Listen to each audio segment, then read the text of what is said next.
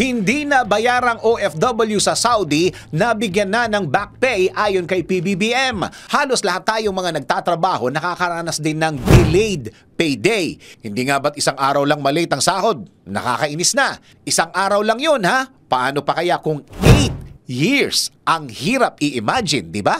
Unfortunately, hindi lang ito imagination para sa higit 10,000 displaced overseas Filipino workers o OFW sa Saudi Arabia. Ito ang natuldukan sa administrasyon ni Pangulong Ferdinand Bongbong Marcos Jr. na inanunsyong nagbayad na ang pamahalaan ng Saudi sa OFWs na nawalan ng trabaho noong 2015 at 2016. Paano nga ba ito naging posible? Alamin natin.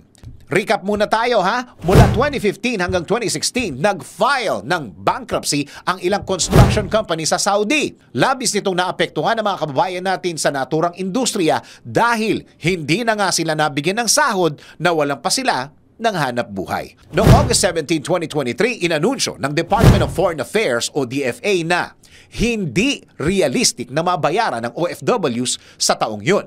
Ngunit, tiniyak naman ni DFA Undersecretary Eduardo Jose de Vega na hindi ito imposibleng mangyari kung ipagpapatuloy ng Pilipinas na i-pressure ang pamahalaan ng Saudi.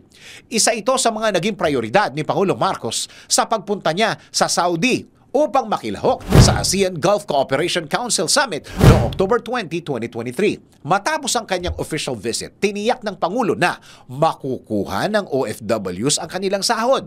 At ngayong February 6, 2024, masayang inanunsyo ni Pangulong Marcos na nagsimula ng makuha ng OFWs ang kanilang pinakahihintay na back pay at compensation. Nais ko lang balitaan ang ating mga OFW na nagaling sa Saudi na patuloy na ang pagbayad ng insurance ng Saudi Arabia sa mga empleyado ng mga kumpanyang na bangkarote nag-file ng claim sa sa insurance. Nakaprocess na ang Overseas Filipino Bank at Land Bank ng 1,104 Alinma Bank indemnity check, yung Alinma Bank yung ginagamit sa Saudi Arabia. Ang halaga ng mga na-release na na cheque is 868 million 740,544 in pesos na na-release na. 1,104 ang na-clear na at credited. Yung 843 doon nabayaran na. Patuloy nga ang ah, pangako ng Crown Prince ng Saudi Arabia, ang pangako niya sa atin